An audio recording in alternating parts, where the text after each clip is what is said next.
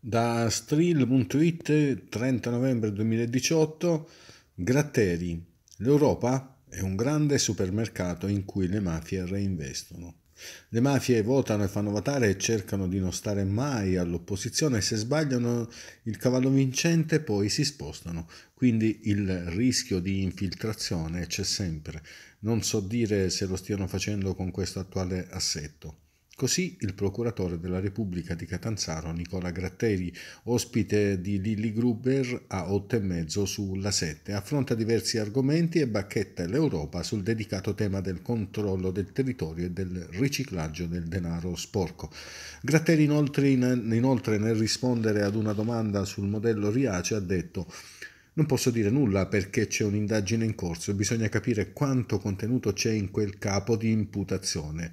Sul tema dell'immigrazione il procuratore Gratteri sottolinea non ho sentito Salvini parlare di mafie, ma solo di immigrazione, un problema che non si combatte creando un tappo sulle coste libiche, bisogna andare in Centro Africa e capire chi organizza l'attraversamento del deserto. Puoi andare lì a costruire infrastrutture e attività per rendere vivibile il centro Africa e poi occuparsi dei clandestini in Italia.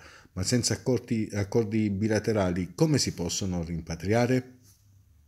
Per il procuratore antimafia di Catanzaro la legislazione antimafia italiana è all'avanguardia, ma in Europa guardano ad altro. L'ultima volta che in Europa si è, discusso, si è discusso di uniformare il sistema giudiziario, sottolinea, si è ipotizzato di adeguarsi al sistema lettone, ma vi rendete conto? Si perderebbero cento anni di leggi contro la mafia. Le norme migliori sono sempre scaturite dai momenti più dolorosi della lotta contro la mafia, all'indomani delle stragi. Se si volessero davvero omologare i sistemi giudiziari, il punto di partenza sul quale costruire il nuovo impianto normativo non potrebbe essere che l'antimafia italiana.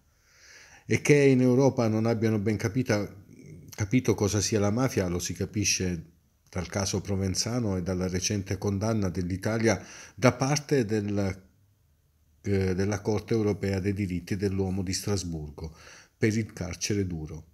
Provenzano negli ultimi anni non è stato in carcere, ma è stato in una clinica dove è stato curato meglio di qualunque altro cittadino. Ciò che l'Europa non capisce è che un capomafia come Provenzano, che non si è mai pentito, comanda anche solo con gli occhi e per questo che gli si deve impedire di avere contatti con l'esterno. Resterà pericoloso fino alla morte così le parole di Gratteri eh, da strill.it l'arciere Luigi Palamara 30 ottobre 2018